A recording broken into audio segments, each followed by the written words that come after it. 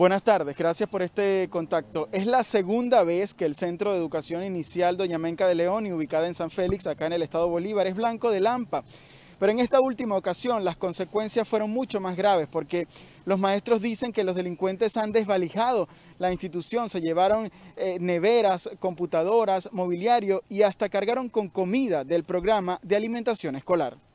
Recibimos la triste noticia de que se metieron aquí, hurtaron muchísimas cosas, neveras, eh, batidoras, videobin, sillas, mesas, coches, corrales, eh, impresoras, computadoras, eh, neveras, plantas de sonido, micrófonos, eh, licuadora industrial, muchísimos enseres, que de verdad, bueno, lamentablemente es la segunda vez desde que yo estoy aquí como directora.